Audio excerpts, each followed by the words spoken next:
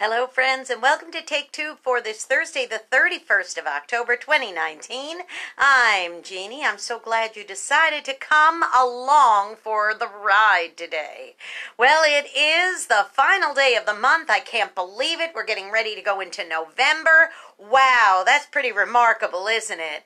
But you know what else is over now besides the month? Baseball. Major League Baseball has come to an end. Yes, sir. No more of these for a little while. Not until spring training, anyway.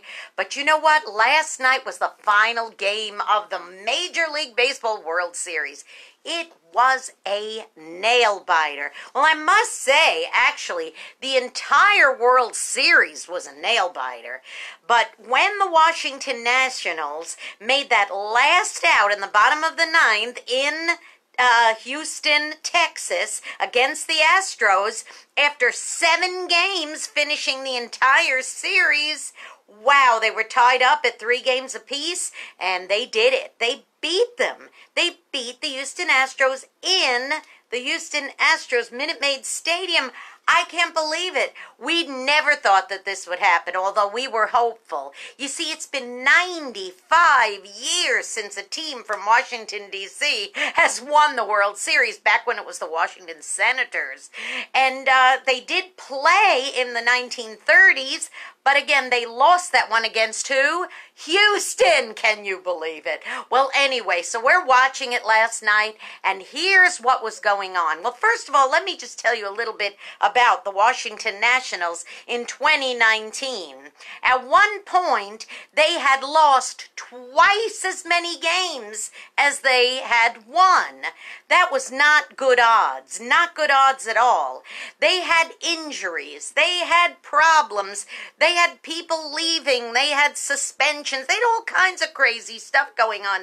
And then not only that, but they were also playing last night and this whole World Series, they were playing against two of the highest ranked pitchers in all of MLB season 2019 who happened to play for the Houston Astros. And then one more strike against them.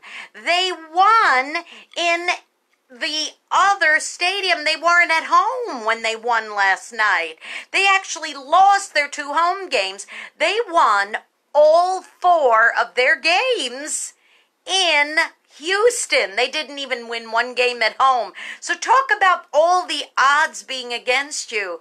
But you know what? You know what I think? I think one of the reasons why the Washington Nationals won last night after seven crazy games is this. They went the distance. They had all the odds against them, but they stuck it out and they went the distance. They played all seven games, and guess what? They're taking home the trophy. It was so exciting to watch them all kissing the trophy and just being so excited.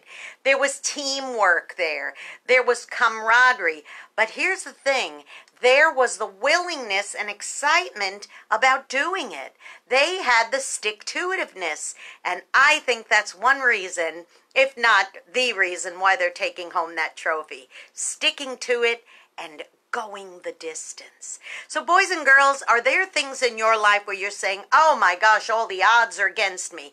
There's absolutely no way I could ever do this or do that or, or succeed at this or. Guess what? The Washington Nationals won the World Series. Who'd have thought, huh?